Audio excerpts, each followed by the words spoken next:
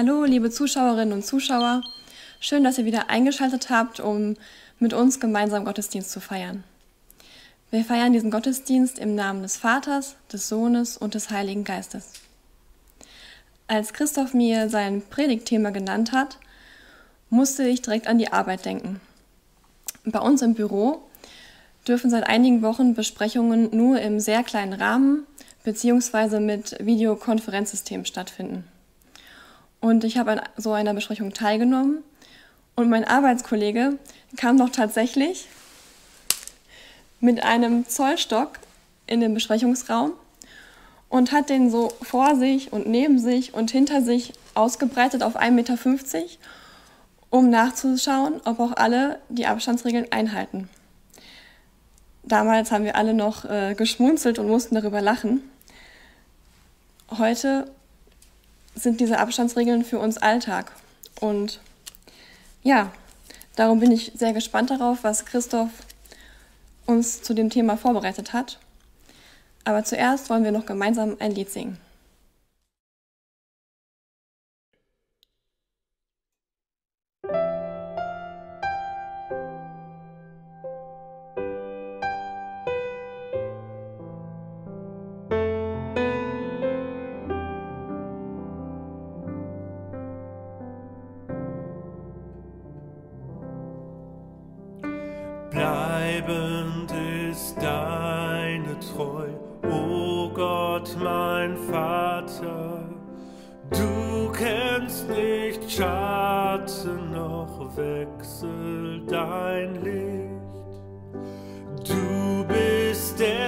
Derselbe, der du warst vor Zeiten.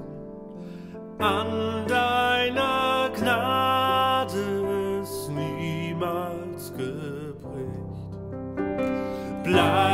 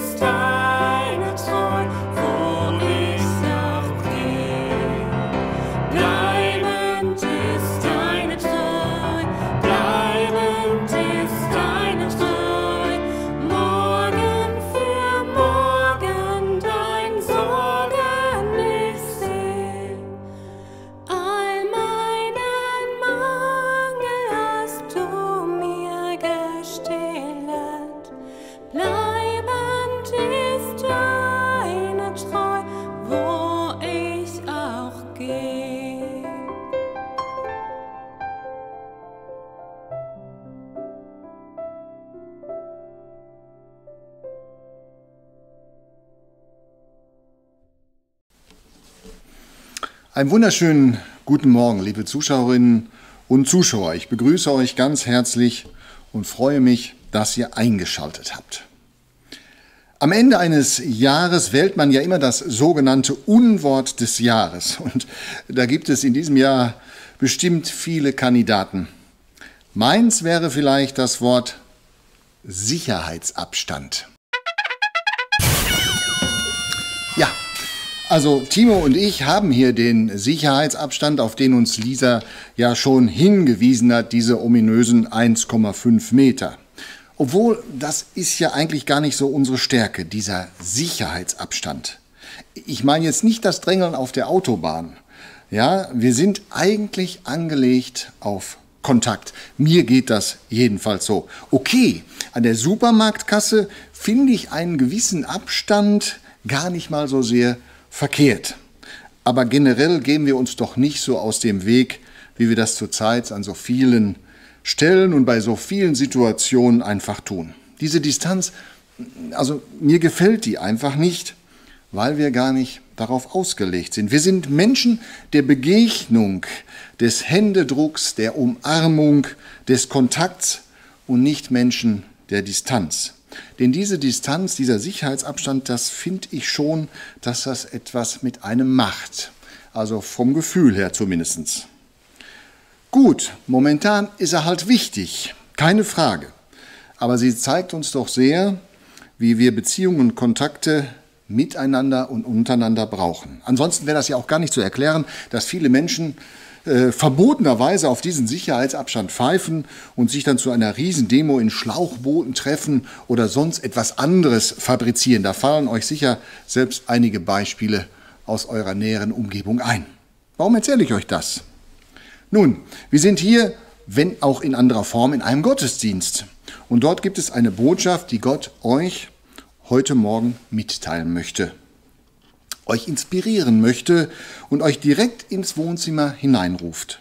Gott ist ein Gott der Beziehungen und des Kontakts. Und nur so können wir ihn kennenlernen. Eine Beziehung zu Jesus Christus und Glaube an ihn funktioniert nicht mit Sicherheitsabstand. Schon gar nicht, wenn ich ihn in meinem Leben persönlich kennenlernen möchte und ihn erleben will. Ich werde das nachher noch mit einer biblischen Geschichte untermauern.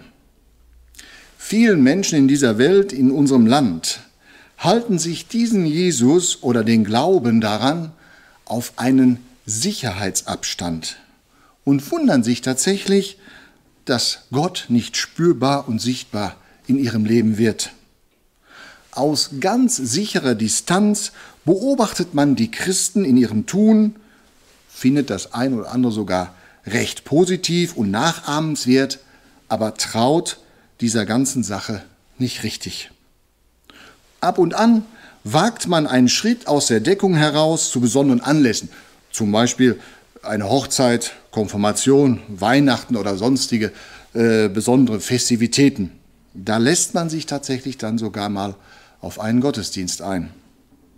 Bist du vielleicht auch jemand, der Kirchen und Gemeinden nicht traut und auf Abstand hält, auf Sicherheitsabstand? Nun, dann ist vielleicht heute mal die Gelegenheit, darüber nachzudenken, ob das tatsächlich der richtige Weg ist. Ich kann verstehen, äh, dass viele Vorurteile da sind, auch aus der Geschichte der Vergangenheit heraus, wobei man nicht sagen muss, es immer fertiggebracht hat, dass die vielen positiven Dinge, die der christliche Glaube in diese Welt hineingebracht hat, gerne vergessen werden. Die häufige Argumentation, wie Gott so etwas zulassen kann und die fürchterlichen Kreuzzüge sowieso, gelten schnell als Sicherheitsabstandsargument. Damit wir uns klar verstehen, ich möchte das nicht totschweigen oder kleinreden, nein. Es gibt sicherlich viele dunkle Momente in allen möglichen Geschichtsbereichen und Entwicklungen in dieser Welt. Aber Gott ist ein Gott der Gnade, der Vergebung und der Erneuerung, somit auch eines Neuanfangs. Und mitreden, ja, mitreden kann ich ja eigentlich nur, wenn ich das mal intensiv versucht und ausprobiert habe. Die eigene Meinung, liebe Freunde, ist hier wichtig und nicht die Meinung von anderen. In diesen Zeiten wird vieles auf den Prüfstand gestellt und wir stellen fest, dass vieles nicht das hält, was es uns bisher versprochen hat. Einiges gerät ins Wanken und wir fangen an tatsächlich nachzudenken, worin der wirkliche Sinn in dem Ganzen liegt. Und das sind schon manchmal seltsame Ansichten. Überschrift in der Tageszeitung mit einem Kommentar. Gut, dass der Ball wieder rollt, Jetzt haben wenigstens einige Menschen wieder einen Sinn in ihrem Leben. Wow. Ich interessiere mich auch für Fußball, keine Frage. Aber darin den Sinn des Lebens zu sehen, naja, finde ich ehrlich gesagt ein bisschen wenig. Vielleicht liegt bei dir der Schwerpunkt ja woanders. Da gibt es ja viele Zielpunkte, Karriere, Reisen oder wie früher in einer alten, bekannten Werbung eines bekannten Geldinstituts, mein Auto, mein Haus, mein Boot oder so ähnlich. Es ist Zeit für etwas Revolutionäres, etwas Neues.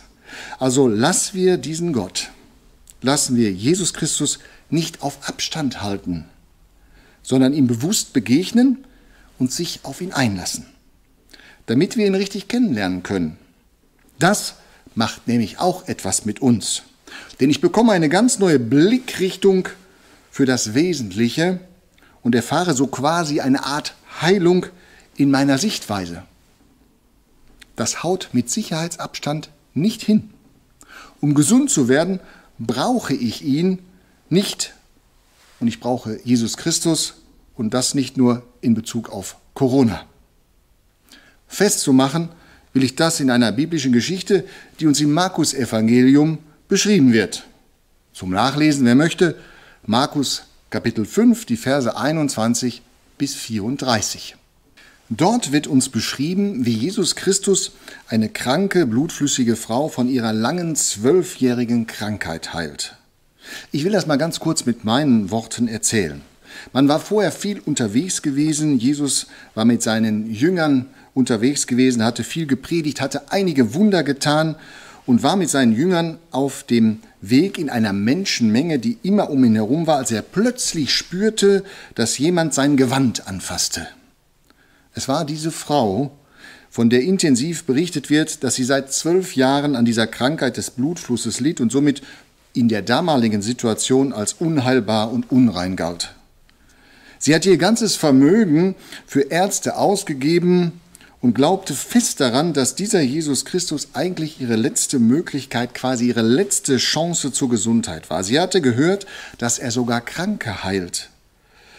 Sie durfte ihn eigentlich nicht berühren, aber es war eigentlich nur noch das oder das Ende ihres Lebens.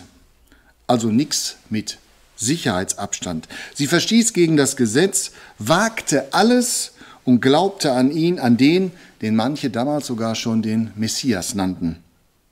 Den Saum seines Gewandes anfassen, das müsste reichen, hat sie sich gedacht, und das tat sie. Heimlich in der Menge. Und sie merkte, als sie das tat, das können wir nachlesen, sofort, dass die Blutungen aufhörten und sie sofort gesund war. Wow, was für eine Situation. Womit sie nicht rechnete, war wahrscheinlich die Reaktion von Jesus Christus und was danach kam.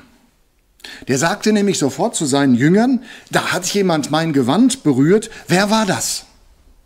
Die Jünger, die waren natürlich etwas irritiert, ja, das müsst ihr euch vorstellen, bei der Volksmenge da drumherum. Wie sollten sie das herausfinden? Das sagten sie ihm auch. Aber Jesus hatte gemerkt, dass eine Kraft von ihm ausgegangen war, der einen Menschen geheilt hatte. Er drehte sich um und blickte direkt in ihr Gesicht. Und diese Frau wusste, oh, jetzt gibt's für mich kein Entrinnen. Das ist so wie wenn man so ertappt wird. Und sie sagte sich, ich muss jetzt einfach zu dem stehen, was ich gerade gemacht habe. Und so wirft sie sich, auch das können wir nachlesen, vor ihm auf den Boden und erzählt ihm alles. Darin liegt ein interessantes Bild, dass sie sich auf den Boden wirft, weil viele Menschen sich vor Jesus Christus niedergeworfen haben zu Lebzeiten. Aber es wird auch so kommen, so wird es einmal sein, das können in Philippa 2 nachlesen, dort steht, dass sich alle vor ihm auf die Knie werfen werden, alle, die im Himmel, auf der Erde und unter der Erde, alle müssen feierlich bekennen, Jesus Christus ist der Herr. Das erkannte auch diese Frau und das tut sie. Sie erzählt ihm alles so, wie es war, klein weg, die ganze Wahrheit und nichts als die Wahrheit. So war mir Gott helfe. In der Regel machen wir das ja meistens ein bisschen anders. Wir erzählen immer nur so viel von der Wahrheit, wie es notwendig ist.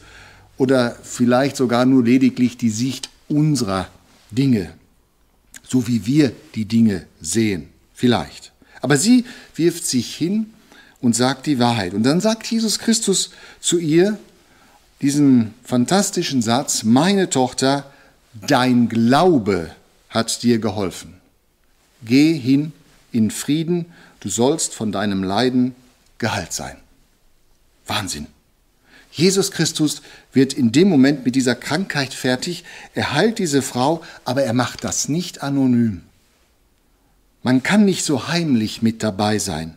Ich muss schon klar Farbe bekennen. Ich muss schon klar sagen, jawohl, an diesen Gott glaube ich. Es gibt bei Jesus Christus keine Anonymität, kein im Dunkeln stehen oder hinter dem Vorhang heimlich mit dabei sein.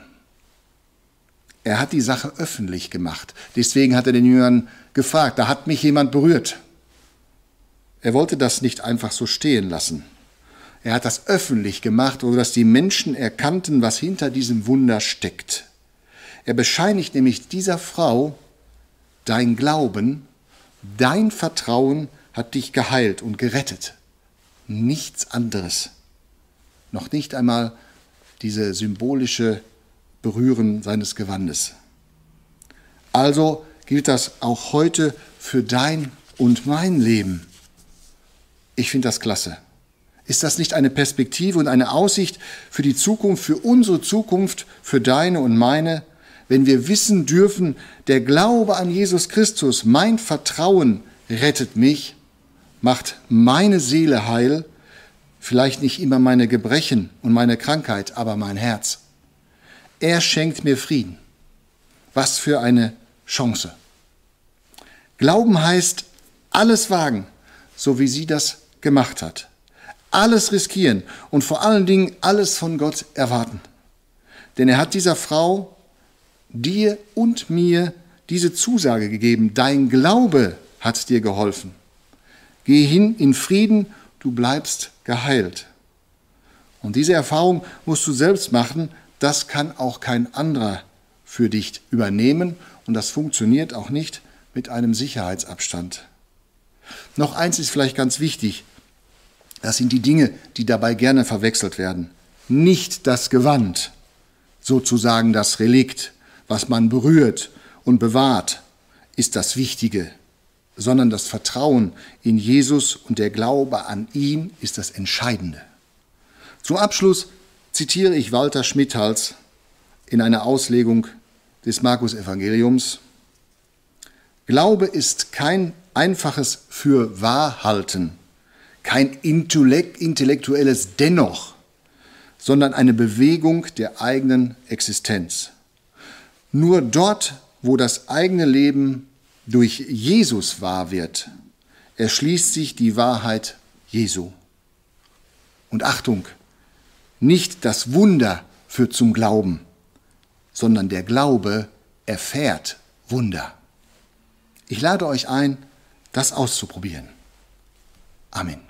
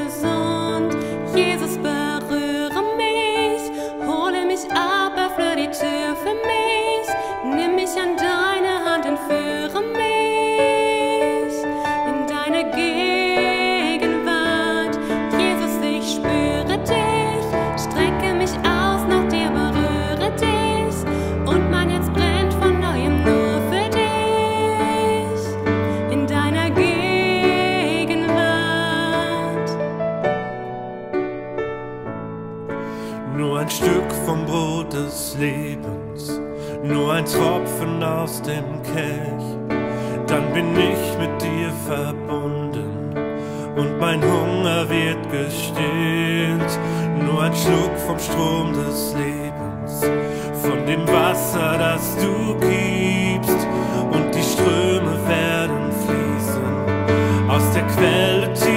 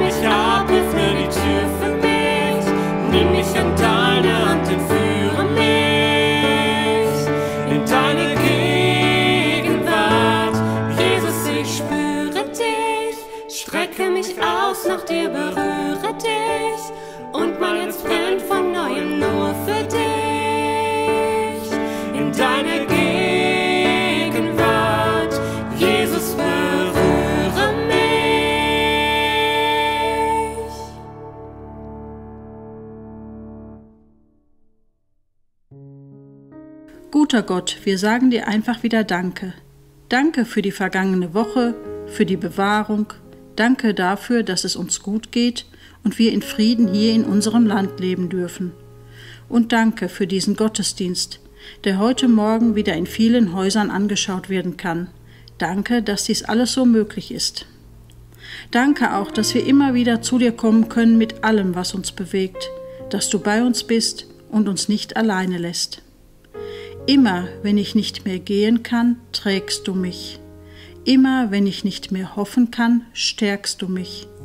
Immer wenn ich nicht mehr weinen kann, tröstest du mich. Immer wenn ich nicht mehr glauben kann, zeigst du dich. Dafür, Herr, hab herzlich Dank. Wir loben und preisen dich. Amen. Ja, okay, der Kameramann hat den Abstand schon mal eingehalten. Hier, zurück. Ja, das war's auch schon. Schaltet gerne in zwei Wochen wieder ein. Ich wünsche euch an dieser Stelle Gottes Segen und bleibt gesund.